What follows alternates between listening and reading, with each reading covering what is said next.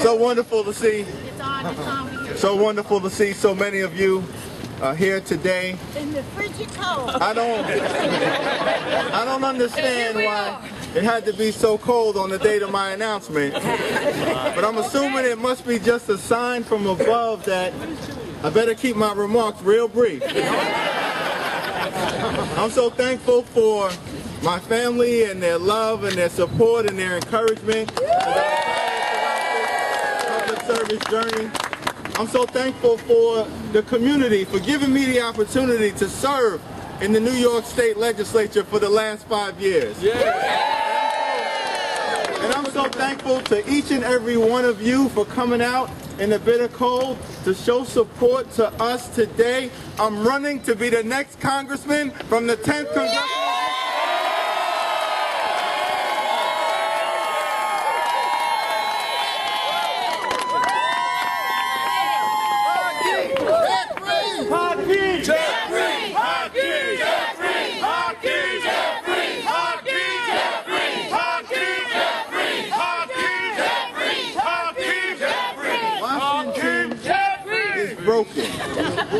Congress is dysfunctional. That's right. People are suffering. We deserve more. That's right. All throughout the neighborhoods of the 10th Congressional District, there are individuals in significant distress. There are children who are trapped in a failed public school system. There are families in desperate need of affordable housing. We have too many guns and too few jobs. We deserve more. In Washington, there are people who want to destroy Social Security. There are individuals who want to eradicate Medicare. There are people who want to shut down unemployment benefits even in the midst of a recession. We deserve more. We are in a struggle. If you think about it, for the heart and soul of our country. There are folks on the radical right who want to take us back to a very different America. That is why you see civil rights, women's rights, reproductive rights, immigration rights, workers' rights, all under attack. But when I get to Washington, I'm going to fight for this community. I'm going to fight for this city. And I'm going to fight for our President Barack Obama. Now, I think he's doing a pretty good job. He's got the intellectual capacity of W.E.B. Du Bois. And he's calm, cool, and collected like Denzel Washington. That's a pretty good combination. But there are people in this country who seem so obsessed with wanting to destroy his presidency, they're willing to take the entire American economy down with them. We just witnessed this a few months ago during the debt ceiling debate. These are individuals who fail to recognize objective truth as fact. There were economists on the left and economists on the right, all of whom agreed the failure to raise the debt ceiling would be catastrophic for our economy.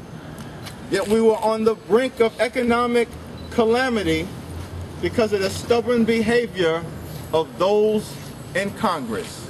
And these are individuals who don't recognize that hypocrisy should be a constraint.